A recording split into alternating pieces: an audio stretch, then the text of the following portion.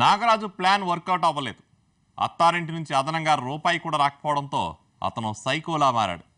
తన భార్యను వేధిస్తే డబ్బులు అవే వస్తాయనుకున్నాడు అందుకోసం ఓ డ్రామా ఆడాడు. భవానీ అత్తమామలు కూడా అందుకు సహకరించినట్లు తెలిసింది.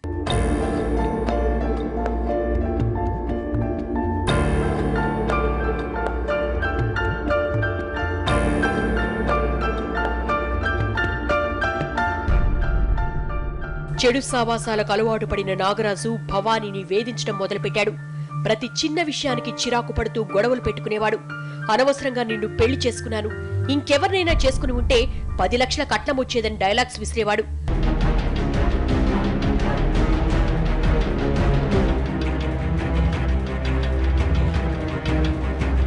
భర్తలో ఈ మార్పు చూసి తీవ్ర ఆందోళన చెందింది భవానీ.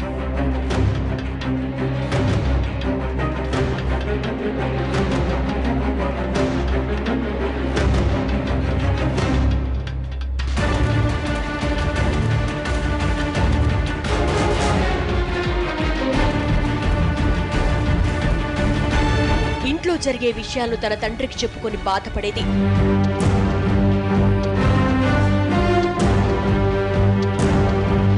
ఆయన కూతుర్ని ఓదారుస్తూ అల్లుడికి నచ్చ చెప్పుకునేవాడు.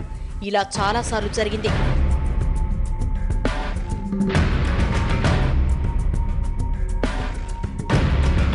నాలుగు గోడల మధ్య గొడవలు రోడ్డెక్కాయి.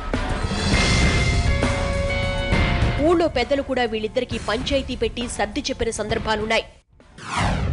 ఒక్కసారి కాదు. ఇద్దరు ఆల్మగులు పంచాయతీ వాళ్ళ తండ్రులు పిలిపించిండ్రు పోలీస్ స్టేషన్ లేపించిండ్రు. అది మా అక్కడ పంచాయతీ అయిపోయింది. ఒక పంచాయతీకి నేను పోయినా. పోతే నువ్వు మాట్లాడనీకి రాలేదు పిల్లని చూడనీకి రాలేదు నువ్వు అదే లేదు నువ్వు అన్నావు ఎవరో మాకు తెలియదు నువ్వు మాట్లాడొద్దు అని చెప్పి అన్నారు. ఆడికెళ్ళి వచ్చినాం. ఆడికెళ్ళి వచ్చినాక గంజిలో పంచాయతీ పెట్టిండ్రు. గంజిలో పంచాయతీ పెడితే సరే మంచిదిరా విడాకులను తీసుకోండి మీకు ఇంత ఇది జరుగుతుంటే విడాకులు ఇచ్చేసేయి ఆమె నాన్న విడాకులు తీసుకుంటావమ్మా అంటే విడాకులు తీసుకుంటా అన్నది. ఈయన ఇస్తారో నువ్వు విడాకులు అని ఇస్తా అన్నది. మళ్ళీ పంచాయతీ పంచాయతీ అంతా అయిపోయినాక ఇద్దరు కలిసి ఏం మాట్లాడుకుని మళ్ళీ ఇద్దరు ఆల్మౌలు కలిసి వస్తున్నారు. అట్లాంటప్పుడు ఇద్దరు మంచిగానే ఉన్నారు అని చెప్పి నేను అనుకున్నాను అంతే.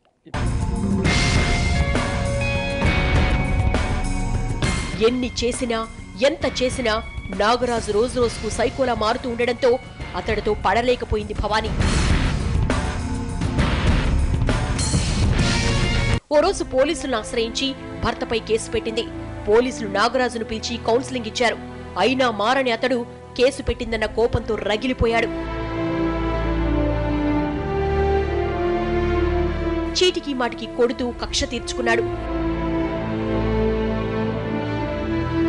భరించలేకపోయిన భవానీ ఈసారి చెత్రినాక పోలీస్ స్టేషన్లో కంప్లైంట్ ఇచ్చింది. అక్కడి పోలీసులు కూడా నాలుగు రోజులు కౌన్సిలింగ్ ఇచ్చారు. గృహహింస చట్టం కింద లోపలేస్తే మూడేళ్ళ వరకు బయటకు రావని చెప్పారు. పోలీసుల ముందు నక్క వినయాలు ప్రదర్శించిన నాగరాజు ఇంటికొచ్చాక మాత్రం సైకోలా ప్రవర్తించేవాడు. భవానీని తిట్టి కొట్టి నిత్యం నరకం చూపించేవాడు.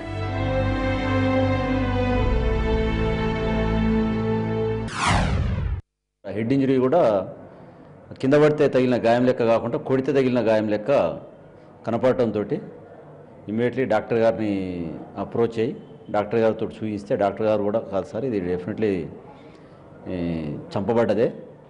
యాక్సిడెంట్ కాదని చెప్పి చెప్పడంతో మళ్ళీ వాళ్ళ అమ్మాయి వాళ్ళ తల్లిదండ్రులను ఒప్పించి ఒక పిటిషన్ తీసుకొని three not four B three not two ఐపీసీలో case register చేయటం జరిగింది. ఇటువంటి వాటిలలో కౌన్సిలింగ్ వెరీ ఇంపార్టెంట్. ఎక్కువ సార్లు కౌన్సిలింగ్ ఇవ్వాలి భ- భర్తలకు. సేమ్ టైము భార్యలు కూడా కొంచెం ప్రికాషన్స్ తీసుకోవాలి. నైట్ టైము ఇండివిజువల్ ఏరియాస్కు పోకుండా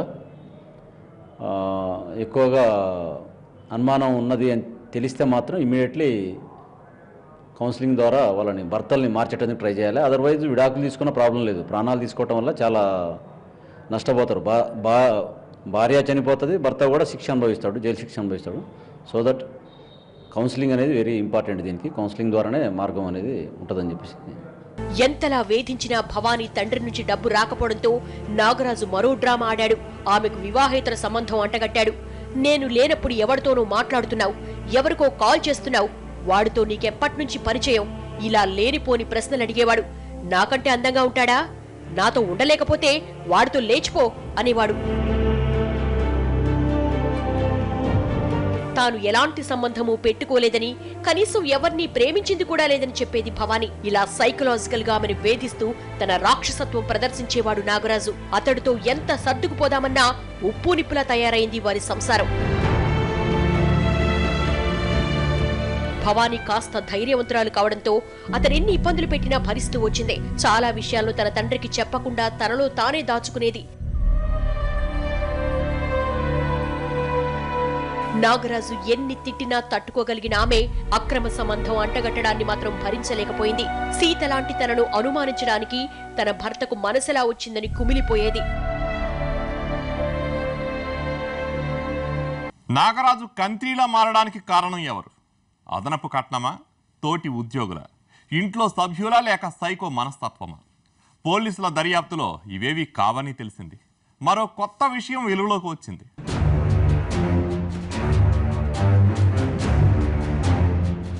నాగరాజు భవానీని ఎందుకు అనుమానించాడన్న కోణంలో పోలీసులు దర్యాప్తు జరిగింది. ఆ ఎంక్వైరీలో భవానీ నిప్పం తేలింది.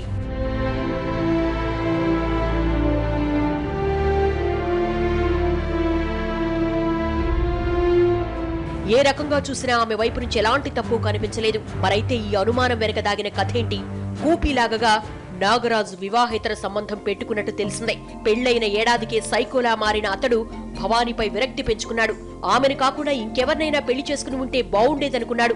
ఆ క్రమంలో మరో యువతికి దగ్గరయ్యాడు. శంషాబాద్లోని ఓ యువతి దగ్గరకు తరచూ వెళ్ళేవాడు నాగరాజు. నెలలు గడిచే కొద్దీ ఆమెకు మరింత దగ్గరయ్యాడు. తనకు పెళ్ళైందనే విషయాన్ని దాచిపెట్టిన అతడు ప్రేమ పురాణం నడిపాడు. తరచూ పనెగ్గొడుతూ ఆమెపై బైక్ పై చక్కర్లు కొట్టాడు.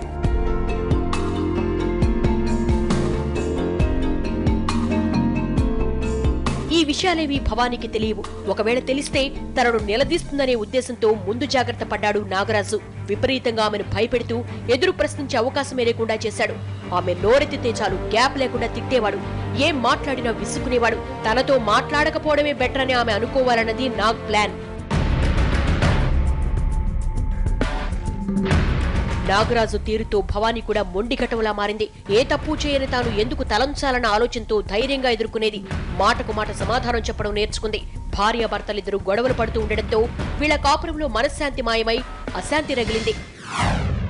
నేను ఎప్పుడో సైట్లో బయటికి వెళ్ళి వచ్చినప్పటి నుంచి నేను ఇక్కడ చేయను. రాజమండ్రి అక్కడ మెకానికల్ నేను. అటు నుంచి వచ్చేటప్పుడు ఇంటికి వస్తాడు ఇక. ఇంటికి వచ్చి ఎట్లనో మంచిగా ఇది మాట్లాడుకుంటాం. మాట్లాడుకున్న తర్వాత బయటికి వెళ్తాం మేము. ఇట్లా పోతాం. సపరేట్ పోయి మాట్లాడుకుంటాం. ఇక అన్నీ చెప్తుంటాడు. అంటే ఏది రెండు మూడు సార్లు చెప్పిండు ఇట్లా. కాకపోతే నేను కామన్ నేనే కామన్ కదా అని ఇట్లా రికార్డ్ ఒకసారి రికార్డ్ అయినా పెట్టిండు. నాగరాజు భవానీ తరచూ పంచాయతీ పెద్దల దగ్గరకు వెళ్ళి తమకు విడాకులు కావాలని అడిగేవాళ్ళు కాపురం అన్నాక కలహాలు సంసారం అన్నాక సమస్యలు వస్తూనే ఉంటాయంటూ ఊరి పెద్దల వీళ్ళకు సర్ది చెప్పేవాళ్ళు. ఊరంతా వాళ్ళను కలిసి ఉండమంటుంటే వాళ్ళకు మాత్రం నిప్పులపై నడిచినట్లుండేది. నాగరాజు వివాహేతర సంబంధంతో ఉపశమనం పొందుతుంటే భవానీ మాత్రం తనలో తాను బాధపడుతూ పరిస్థితి